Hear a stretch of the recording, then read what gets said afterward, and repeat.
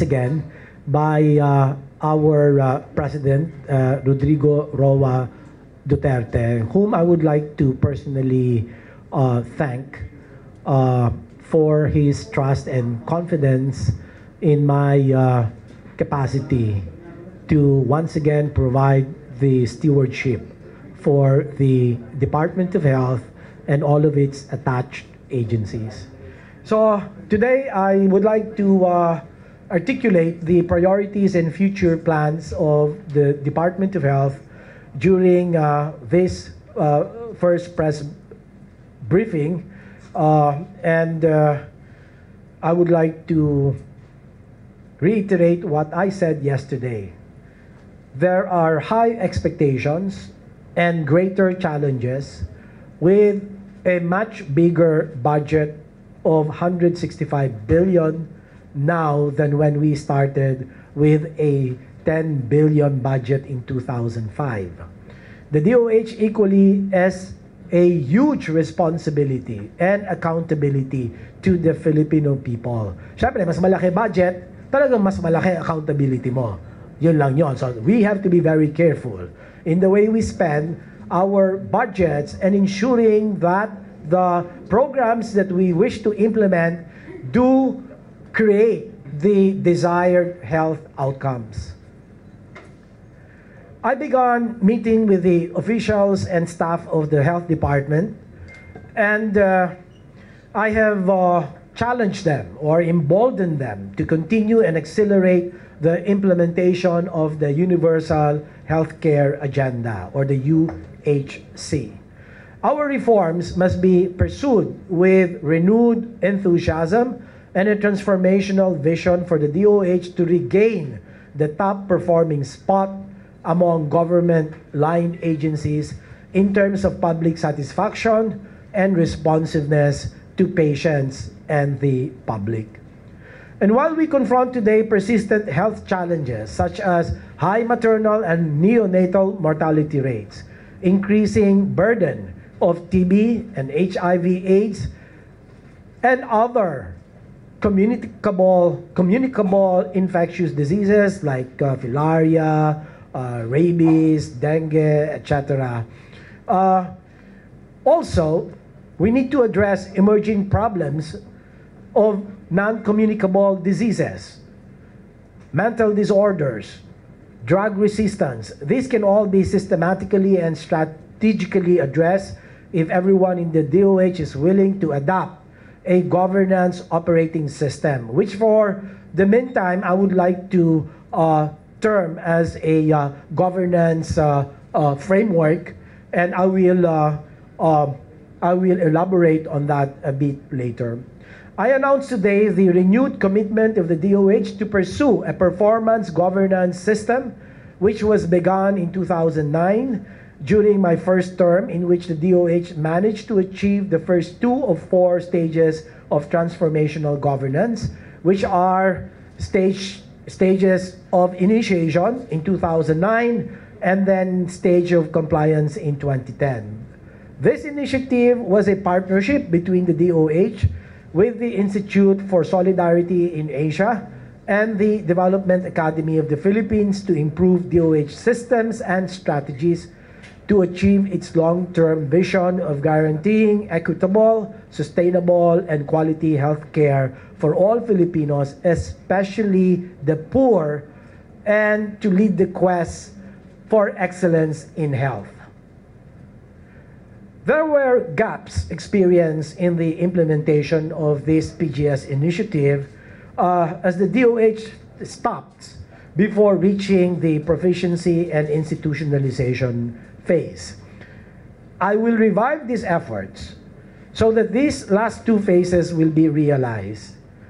We need to adopt a culture of evidence-based metrics that will enable the health department and public to monitor how the health sector is working to achieve better timelines, better responsiveness, better quality, and ultimately, better outcomes for patients.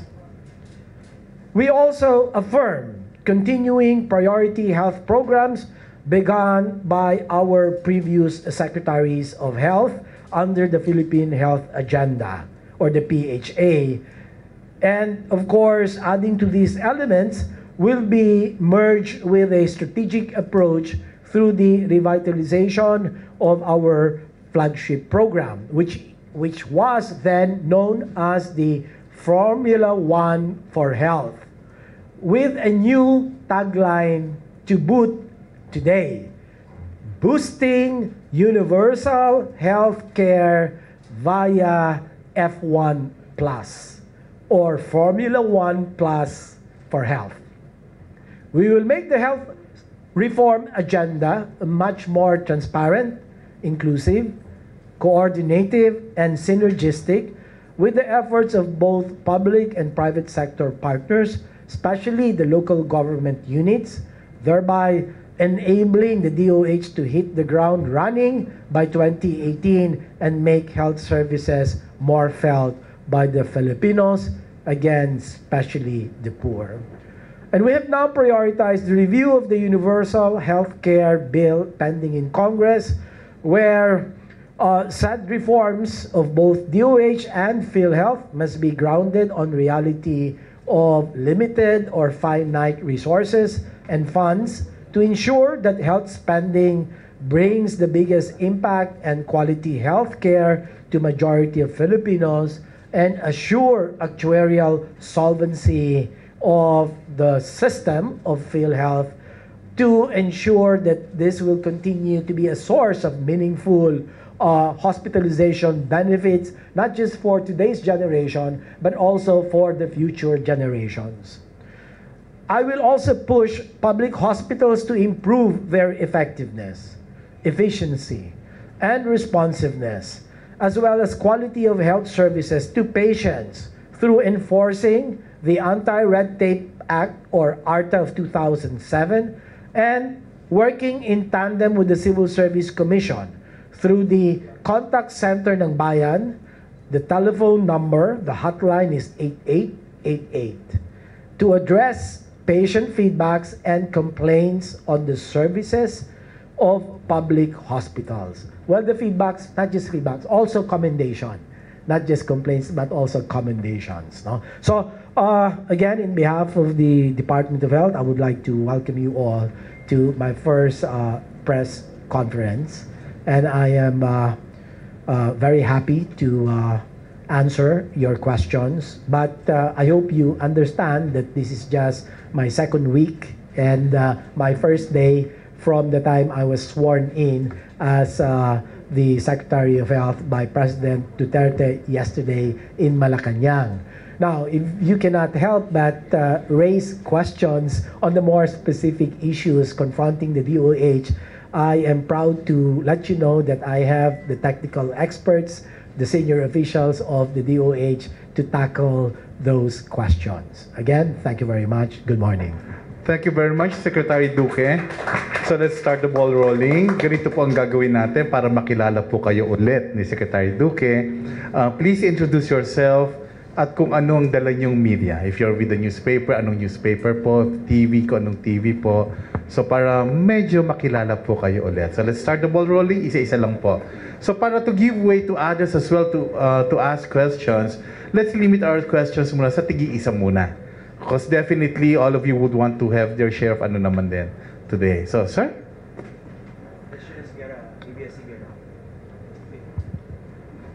May I know your position regarding the uh, medical marijuana. All right, so we've been listening to Health Secretary Duque outlining his priorities for the department. Of course, this is his first uh, press conference since being named uh, Health Secretary. As you know, uh, Pauline Ubial, the former one, was uh, bypassed or rejected actually by the Commission on Appointments.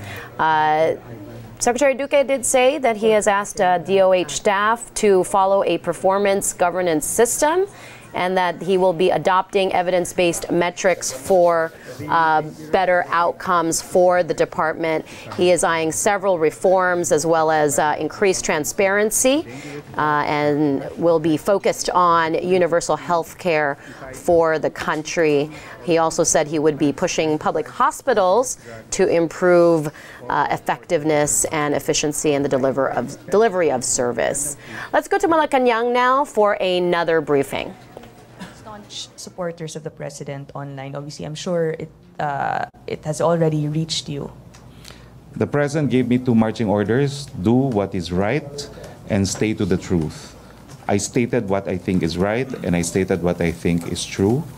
I am a spokesperson. I deal with the Malacanang uh, Press Corps and um, I have long been an advocate for freedom of expression. I leave it at that. That's the nature of this freedom.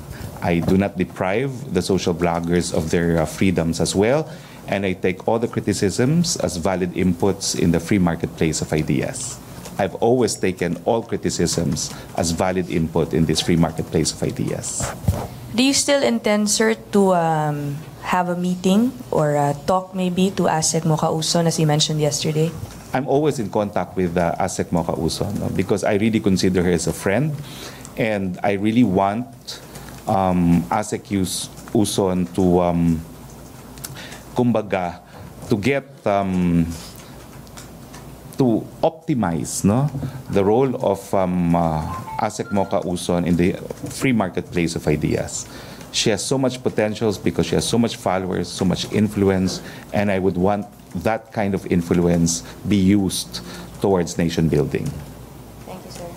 Pia Renata of Rappler.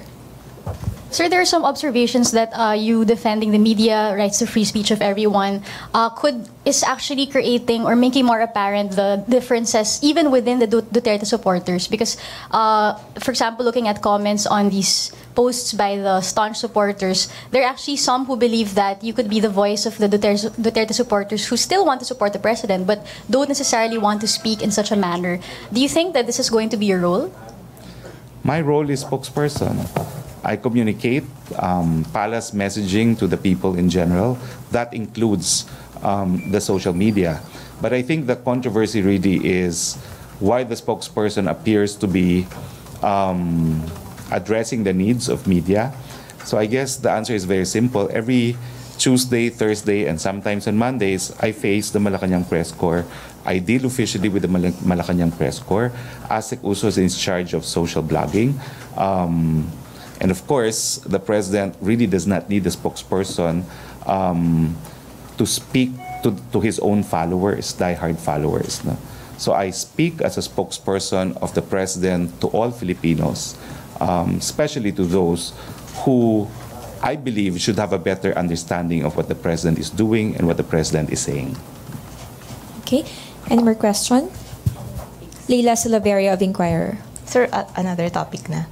Sir, Yes. what does the palace make of uh, China's launch of its um, island maker, this giant dredger? Are we concerned that it may use it to create artificial islands in the South China Sea? Well, the president recognizes the principle of good faith in international relations. Um, China has told the president they do not intend to um, reclaim Scarborough, and we leave it at that. Um, we need to rely on good faith because otherwise there will be no predictability in international relations. So he's not going to raise any questions about this? As I said, he has relied completely on the principle of good faith, which is, in fact, a fundamental and cardinal principle of international law. So at this point, um, is trusting China the best we can do to secure our maritime We're not just trusting, we have a decision the last time I checked, and that decision remains unchanged. It has said that the artificial islands are for part are, are built in our EEZ and under the UNCLOS only coastal states can build them. But what the president has done is that's self-executory. What else must be done? Meanwhile, the president has opted to um, maintain very close and cordial relationship with China. I think we are seeing new heights in terms of Philippine-Chinese uh, relations, and it has resulted in very tangible results, particularly economic investments. Thank you. Any other issue? Pia Gutierrez, ABS-CBN. Hi, sir. Good morning. Sir, uh, the Kabayan Party List is claiming in a statement that you are uh, supposedly threatening to use or you supposedly threatened the party list that you will use your power as the new presidential spokesperson to stop the proclamation of Ciriaco Calalang as your replacement in Congress. What's your reaction on that, sir? Well, this will be my last take on it because, as you know, I formally took my oath as spokesperson yesterday, and everything I say now must be for and in behalf of the president. The president is not involved in the Kabayan Row, but as by, by way of a final statement on the Kabayan, that matter will soon be addressed. Um, in the COMELEC. The COMELEC is the proper forum to determine who will be the third um, nominee who will be replacing me. And um, we will, or the party, the Kabayan Party List, will uh, subject itself to the jurisdiction of the COMELEC in this regard. Please understand that as of yesterday, I formally entered the office of the spokesperson, and anything relating to my personal circumstance has become irrelevant as far as my position is concerned. So that will be the last time I will be commenting on personal affairs. Sir, last na lang, last. eh, Yun dun sa statement din nila, they also noted that you want, apparently you want your chief of staff uh, to be proclaimed as your replacement. That's not my decision. It was a decision of a party congress held. No? So that's a decision of Kabayan Party List, not mine. Thank you, sir. Okay, Deo de Guzman. Morning, sir. Congratulations po sa Thank you, Deo. Sir, ah, ngayon pong nararamdaman na naman ng taong bayan yung maraming aberya sa MRT. Sunod-sunod na naman po ito. At ah, nakasuhan naman po dun sa ombudsman yung mga dating opisyal ng DOTC before. Makakaasa po ba ang taong bayan na in this administration na meron po talagang makukulong o mapagmumulta man lang doon sa mga nakasuhan ng mga dating opisyal ng DOTC with regards to the operations of MRT? Well, we just rescinded our contract with uh, Busan, alleging non-performance of contract because of the many breakdowns of the MRT. No? This indicates that ang palasyo po ay hindi po um, manhid doon sa mga pangangailangan ng ating mga publiko na nag-MRT at nag-LRT araw-araw. Patunay po yan na hindi napapayag ang uh, presidente na patuloy ang uh, palpak na serbisyo na binibigay ng mga kontratista ng ating MRT at LRT. Hindi lang po kinansil ang kontrata, pero ang naintindihan ko po ang DOTC ay magsasampa rin ng kaso laban dun sa mga tao na naging dahilan kung bakit nagkaroon ng perwisyo ang ating mga mamamayan. Pero aasa po ba kami talagang may makukulong within the administration? Ang masasabi ko lang po ay talagang magsasampa ng mga kasong kriminal ang DOTR at ang detalye po niyan ay pwede nating tanungin sa DOTR mismo. Thank you, sir. Ted Tuvera, Daily Tribune. Good morning, Secretary. Hi, Ted. Uh, Secretary, the President uh, said before that he wants to review the uh, relations between of the Philippines and the United States, uh, especially on the presence of uh, U.S. troops here in the country. Do we expect President Duterte to raise um, this concern uh, to President Trump in his meetings with him at the APEC or here? Well, um, we will be chairing ASEAN, and U.S. President Trump will be here in connection with the consultations between ASEAN and uh, um, the United States. I think what will be at center stage will be the relationship between ASEAN as a grouping and the United States. Um, uh, your answer is if if I think if I think the president will bring up the matter of the presence of uh, he, he said before that he wants to review the uh, alliance between the Philippines and the United States and even review the presence of uh, U.S. troops here in the country. He even once said that uh, he wants um, to minimize or at least uh, eject uh, fo- U.S. troops here in the country. Well, the president said he's in the process of evaluating, and that process continues. But in response to your question, I don't think it will be raised in this particular instance. Thank you, sir. Okay, Ace Romero of Philippine Star. Secretary, can we get an update on the Joint Command Conference held last night in Malacanang? Well, um, I'd like to give you, but um, unfortunately, this is what happened. No? Um, I was not there for the entire time. Um, what I realized is that the president discussed um, West Philippine Sea issue as well as the war against drug. No? I only witnessed uh, the president talking about the war against drug and part of um, the West Philippine Sea issue. No? I have just discussed with you the position of um, the Philippine President on the West Philippine Sea. We have a decision. Um, it remains. That's completely executory. And meanwhile, it has been beneficial to our national interest to pursue cordial and very friendly relations with China. As far as the war on drugs is concerned, what I did notice is the ill effects of shabu, because unlike other prohibited drugs, shabu really causes brain damage. So that's as far as I heard in the General Command Conference yesterday. Did he issue instructions to the security forces during the command conference? Well, I did not hear him at the time I was there, but I was only there for part of the time. But um, I did witness the um, detailed, rather detailed discussion on the ill effects of shabu on the brains. But with regard to the South China Sea, uh, what can you share to us? I missed it. I only saw the tail end. The problem was um, I knew I had to attend the General Command Conference. I was willing, but they instead referred me to the holding room where the cabinet meeting was to be held. So I was called by um, aides of the president to come down to the command conference. Unfortunately, I had already missed the president's um, declarations on the West Philippine Sea. Thank Okay. you, Secretary. Dexter Ganibe, DZMM. Hi, Sec. Hi, Dexter. Good morning. Sec, uh, nabanggit nyo na doon kayo doon sa unang part ng command conference. Nakita nyo po yung paggawad ng Lapu-Lapu Award doon sa isang pulis kalookan. Na-miss ko rin po. Na-miss nyo. Pero Kasi nga po, ang sabi nila, magantay daw ako doon sa holding room. Alam mo naman ako, first day, no? Who am I to um, say otherwise, no? So, by the time I went down, halos tapos na yung General Command Conference. Yung cabinet, cabinet meeting naman, I had to excuse myself because I had an interview with Christian Amanpour. Watch it on Monday. Wow. Sir, uh, anong ah, tanong ko na lang, ano po ang mensaheng gustong ipaabot ng Pangulo doon sa pagbibigay niya ng Lapu-Lapu Award doon sa isang pulis kalookan? Alam naman natin noong mga nakaraang buwan, eh, siya pa yung nag-utos na ipa-aresto yung ilang pulis ng kalookan dahil doon sa killing kaugnay ng war on drugs. Well, naniniwala ka naman po, binigyan ng parangal ang isang pulis kalookan na karapat dapat na bigyan ng parangal.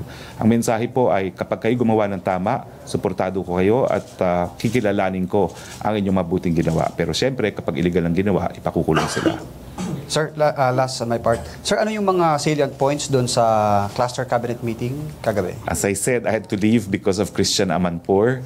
Uh, yung pala, ang tagal-tagal ako pinaantay dun sa studio, no? So, I, I still have to get the uh, transcripts of the cabinet meeting, but what I did see, the first in the agenda is the rebuilding of Marawi.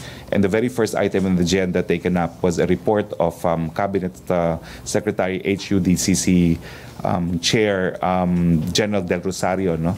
And I did see that part of the issue that he was discussing was that they're not just building homes, they're rebuilding communities. No? So the rehabilitation will not just be all about houses, it's about schools, it's about places of worship, it's about parks, it's about civilians, the Bakwits, um, allowed to resume their daily lives under uh, normal circumstances or under as normal as circumstances as can be. Okay? Yes, sir. Microphone, please.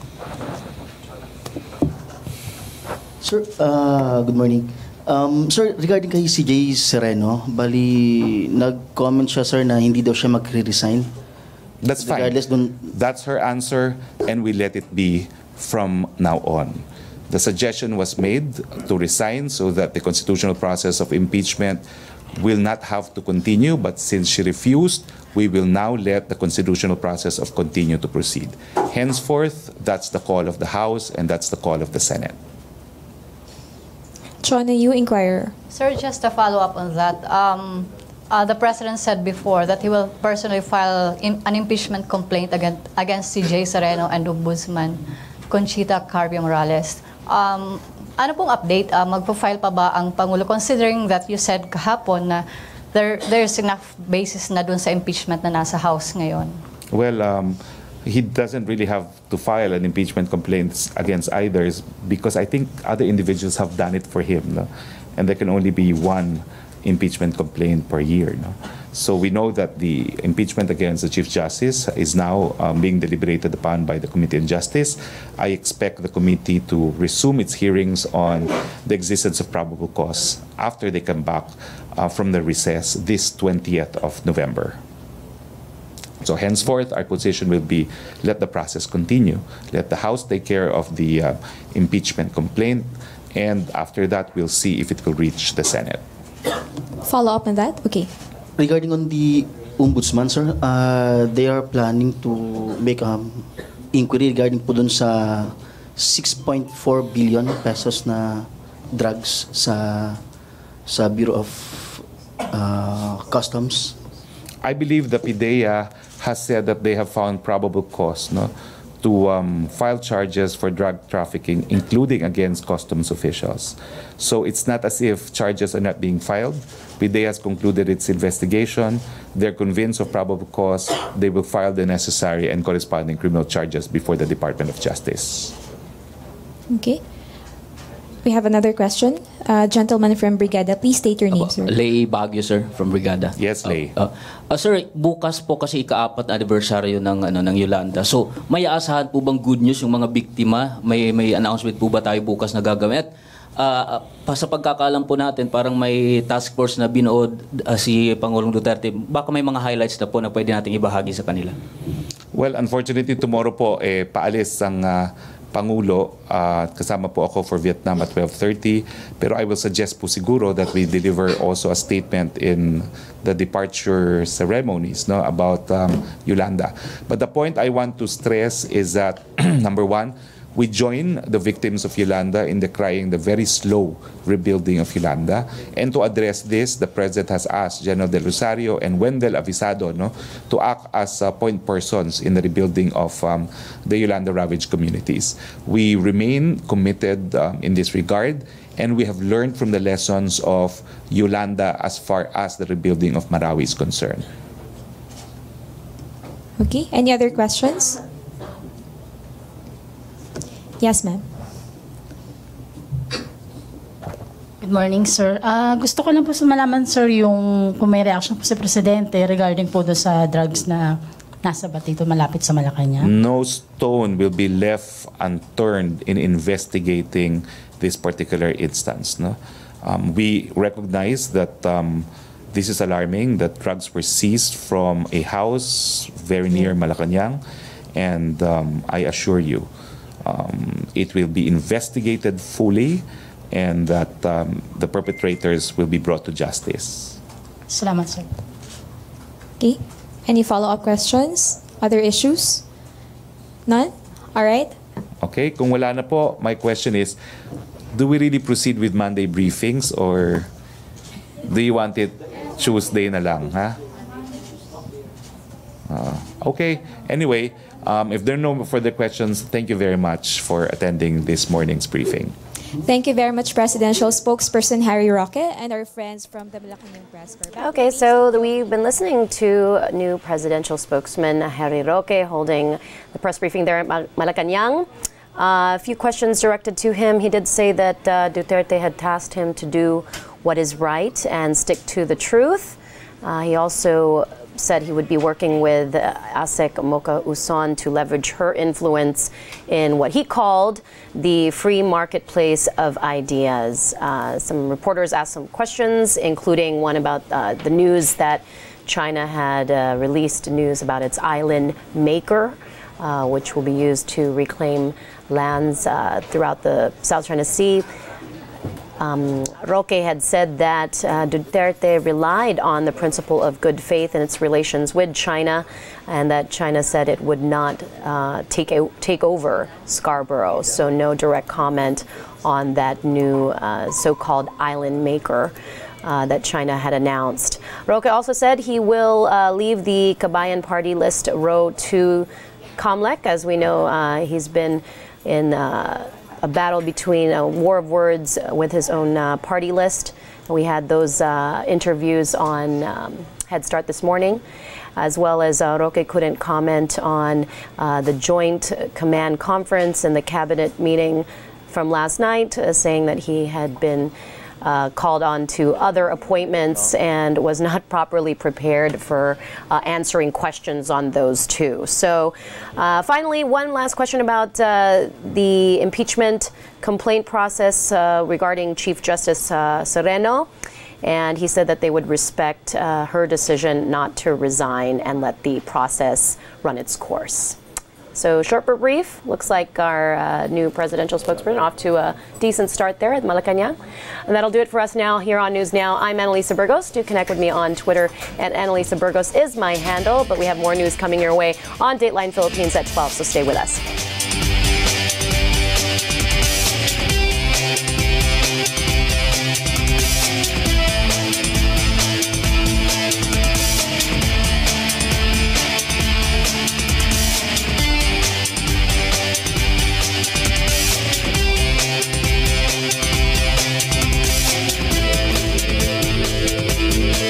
Underarms. You shave and pluck them so they deserve the best care. New Dove Original Light and Smooth. Our most skin caring formula ever. For lighter and smoother underarms. New Dove. For hypoallergenic care. Try New Dove Sensitive.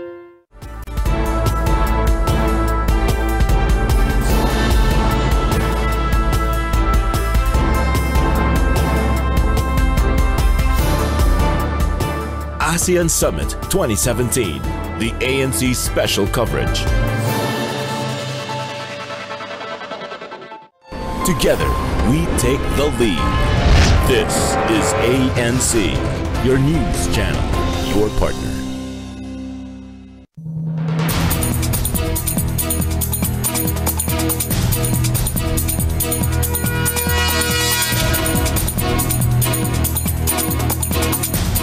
Today in Matters of Fact, a new batch of Facebook chat messages shows some members of the UST-based Aegis Juris fraternity allegedly plotting a cover-up in the death of hazing victim Horacio Castillo III.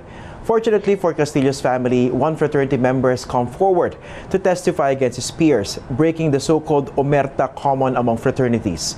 But will Castillo get justice sooner than later? We're joined in our Rockwell studio by Senator Juan Miguel Zubiri, who is seeking a stronger anti-hazing law. Good morning, sir. Good morning, Christian. It's nice to be here.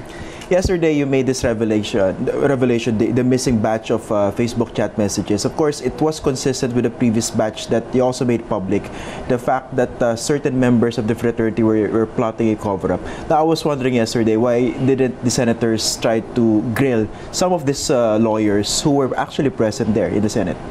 Except for one, uh, Mr. Anarna, Attorney Anarna had to, I think, believe his, I believe his wife had just given birth, so he had to attend to his wife. But um, you know, it's very clear as day that um, the chat group that we mentioned or the chat messages we mentioned on the second hearing and on the third hearing, because this, what I mentioned yesterday, what I read out yesterday for the record, was basically the missing pages of the last uh, chat pages read by Senator Joel Villanueva. And it's very clear as day that cover up was being made. I mean, mm-hmm. mentions of visiting the frat lab, making sure that all the CCTVs were clean, uh, visiting the barangay to make sure that there was no coverage of the barangay CCTV, etc., mm-hmm. etc. Uh, et so it's it's it's quite alarming. And um, uh, we wanted to focus, actually yesterday, I wanted to focus on the testimony of Mark Ventura. Mm. But we were prevailed upon by the prosecution service. Uh, Attorney Catalan had told us na uh, better that we don't put out all the ammunition uh, for the defense to review at this point in time. Mm. So as, as I would want a conviction in this case, I would want justice to be served. I, we, we honor the, the request of the prosecution service and uh, only bits and pieces. And that's why, uh, if you know,